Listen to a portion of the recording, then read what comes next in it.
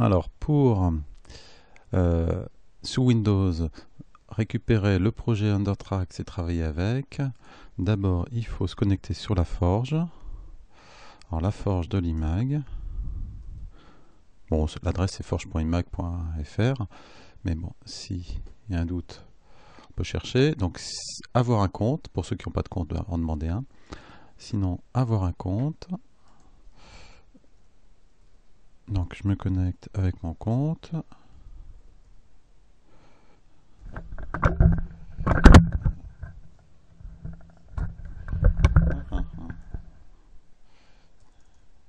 On va recommencer. Ou je fais une ellipse.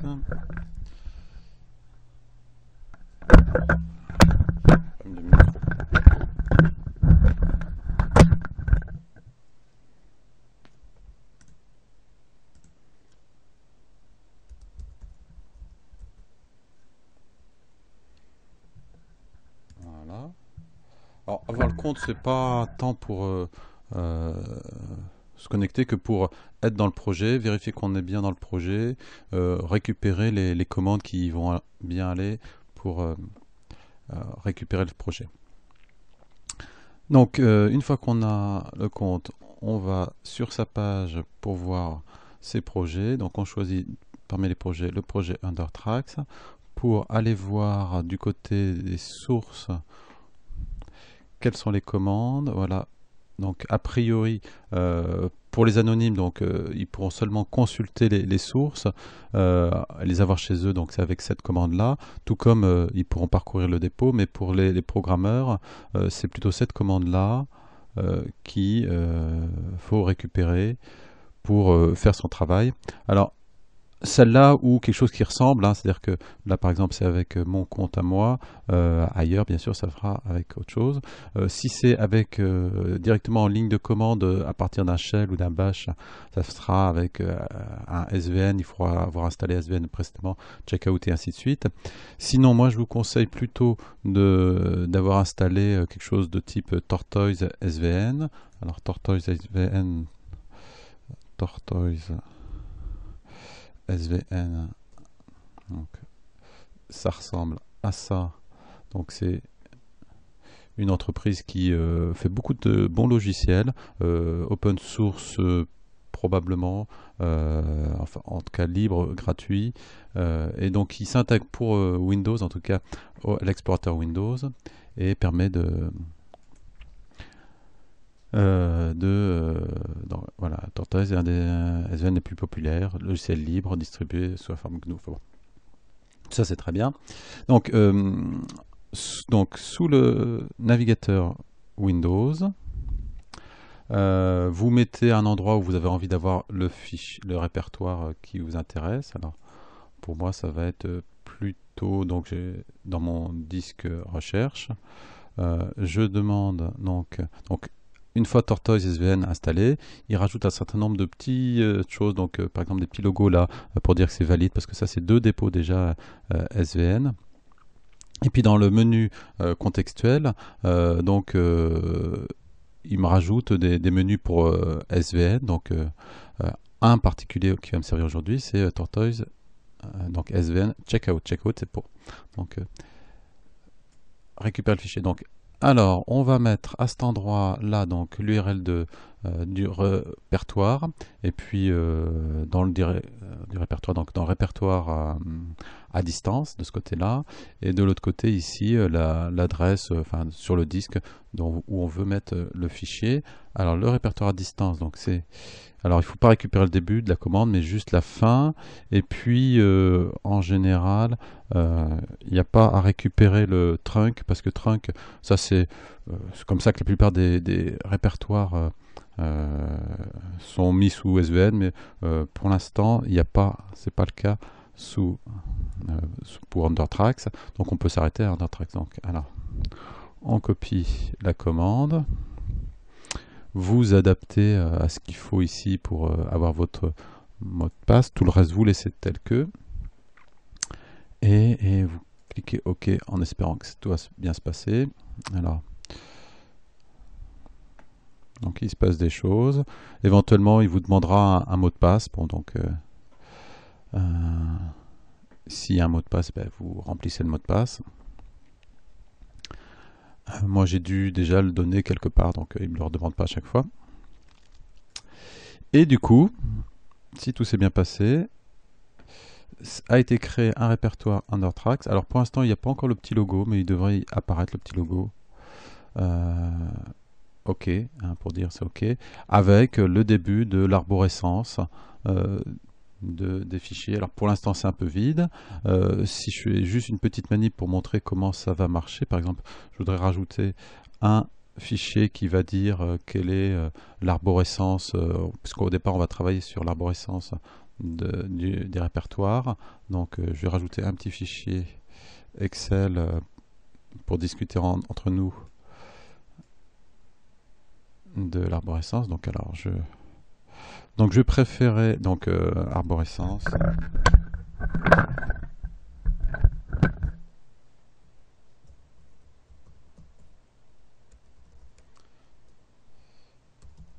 Undertracks. Donc on peut imaginer donc au départ partir sur euh, branche tronc, trunk et branche et puis on va insérer un certain nombre de donc euh, on peut je sais pas hein, pour l'instant je mets ça UT0 UT1 UT2 qui seraient des répertoires. UT 1.5 1.5 UT2 on va rajouter un peut-être UT3 ça peut être aussi des répertoires euh, documentation, donc insertion, pas ici, donc documentation. Ça sera à discuter de toute façon tout ça. C'est juste pour montrer comment ça a marché. Donc documentation. Euh, donc ce fichier là, on le sauve. Donc euh, alors, on va essayer de le sauver donc c'est un répertoire Windows standard hein, pour l'instant, euh, qui voilà le petit logo maintenant. Donc moi je vais le, sauvegarder à la base. Par contre euh, au niveau format, euh, je vais privilégier toujours les formats de données qui sont plus ligne à ligne, parce que la sauvegarde et les changements dans, dans SVN sont repérés plutôt sur une base de ligne à ligne. Donc il y a le format voilà Excel ici euh, qui a l'air pas mal, enfin j'ai l'impression, euh, d'un format Excel quand même, mais euh, sous forme de, fichiers de fichiers. Alors ça aurait pu être des fichiers CSV, ouais c'est plutôt celui-là d'ailleurs. C'est des fichiers XML que je vais choisir. Donc pareil pour d'autres euh, documents. S'ils sont déjà écrits euh, ligne à ligne comme du code, ça, il n'y a pas de souci. Euh, sinon, ce sera plutôt du CSV, du XML que je vais sauvegarder. Donc je préfère XML là à CSV parce que le format CSV des, documents Excel, il est vraiment très pauvre. On ne peut pas mettre de, de couleur, de gras, de, souligner ou, faire grand chose d'intéressant. Tandis que celui-là déjà, c'est déjà des feuilles quand même Excel qui ressemble à du Excel. On n'a on pas tout de Excel en sauvegarde, bon, euh, mais euh, par contre on a l'avantage d'avoir des fichiers euh, XML. Donc je sauvegarde. Donc je lui donne un nom, donc c'est arborescence initiale. initial, je sais pas si on va mettre, on va mettre juste arborescence. Alors pareil dans le choix des noms, il faut comprendre que dans dans un serveur SVN, en fait, les noms, il faut qu'on les prévoit pour euh, une longue euh, existence. Donc, euh, il y a là, par exemple, mettre arborescence initiale, euh, c'est-à-dire que ce fichier-là, on ne veut pas le faire vivre, on ne veut pas faire des modifications, parce que euh, en général, euh, si on avait fait des modifications dans un autre contexte, on aurait changé de nom, du coup on aurait, serait passé à arborescence 1er juin, arborescence 2014, et ainsi de suite. Tandis que là, ça va être le même fichier qui va vivre, qui va avoir plusieurs versions, et dont on pourra interroger les différentes versions si on veut, puisque tout l'historique des fichiers sera contenu dans, dans le serveur SVN. Donc l'historique ici euh, permet d'avoir toutes euh, les différentes versions, mais du coup le nom lui doit être indépendant de l'historique. l'historique, il est associé au fichier en plus. Hein, c'est pas le nom du fichier qui doit, qui doit définir l'historique. Donc juste arborescence. Ah bon, donc ça, il râle un tout petit peu pour... donc... Donc là, pour l'instant, le fichier il est juste chez moi, euh, nulle part ailleurs. Euh, si on va voir sur euh, la, forge, hein, hein, la forge pour l'instant, donc il y a dans, à la base, hein, il n'y a que les trois répertoires et, rien de plus.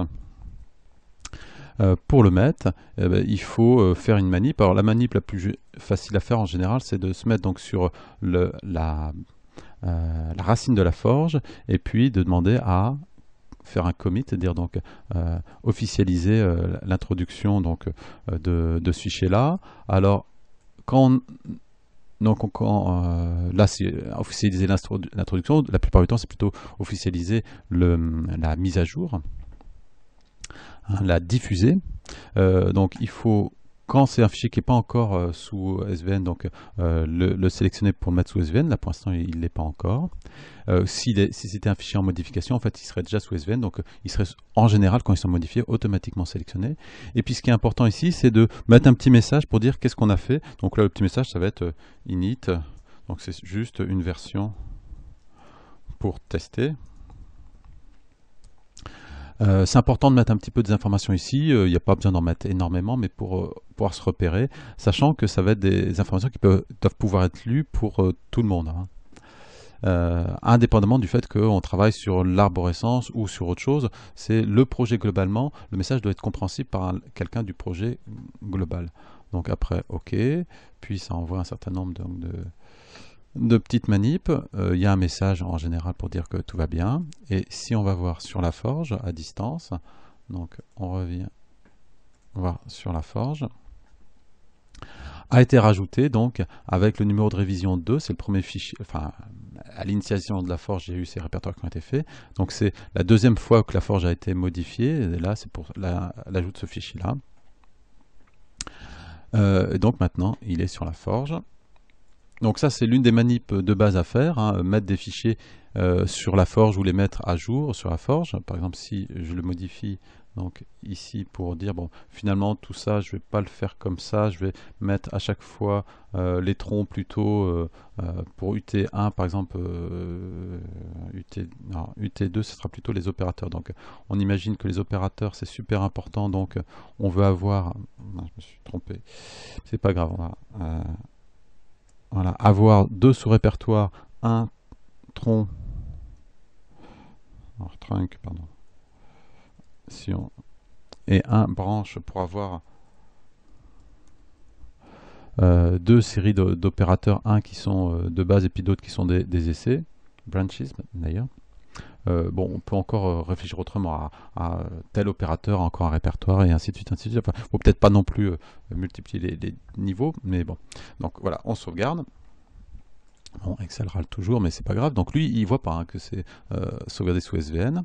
Par contre, dans l'explorateur Windows, euh, le donc le répertoire global a maintenant un petit logo rouge en disant attention, il y a eu des modifications qui ont été faites. Là, le fichier aussi. Donc si on fait un commit sur le fichier, enfin sur le répertoire global, voilà, le fichier arborescence qui a été changé est sélectionné. Et puis pareil, on, on rajoute un petit message test pour démo on enregistre.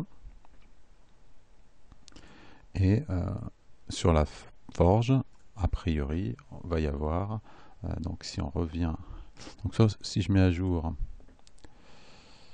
si je mets la page, donc on voit que c'est la version 3 qui apparaît là. Euh, on peut explorer les différentes versions, hein. donc on voit qu'il y a eu deux versions avec les messages init, euh, test, et on peut même regarder chaque version. Alors euh, bon, ça va pas forcément être, je sais pas ce que ça va donner, mais voilà, c'est du XML. Euh, bon, presque lisible. On voit UT0, UT1, mais bon, c'est quand même assez, assez, assez bon. Voilà.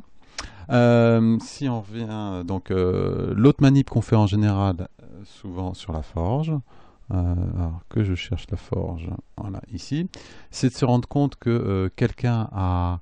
Euh, enfin non, justement, on ne se rend pas compte que quelqu'un a peut-être ou pas modifié des fichiers. Donc en arrivant en général, quand on veut travailler sur un fichier, on demande à avoir la version à jour, update, donc de, tous les fichiers. Donc on demande donc sur le répertoire global, même si de notre côté c'est correct, on demande à avoir la version globale. Donc il cherche, il regarde les adresses, enfin les, numéros de version de chaque fichier, et là bon, il dit que ben, tout est à jour, il n'y a pas de souci quand il y a des soucis, euh, bah, quand il y a des soucis, quand il y a des modifications, il récupère la nouvelle version et du coup on peut travailler sur la nouvelle version. Donc il peut y avoir des fois des soucis, quand deux personnes travaillent en même temps sur le même fichier sur les mêmes lignes. Donc euh, c'est du coup assez rare. Euh, auquel cas il y a un message dans SVN pour dire qu'il y a eu un conflit et qu'il faut le résoudre. Et dans ce cas-là, ben, il faut, venir. Euh, la règle, c'est que du coup, euh, on garde pas trop longtemps des, fichiers en, cours de, modification, c'est-à-dire euh, qui sont pas cohérents entre la base et, le, PC de l'individu, et euh, donc on les sauvegarde assez souvent sur le serveur.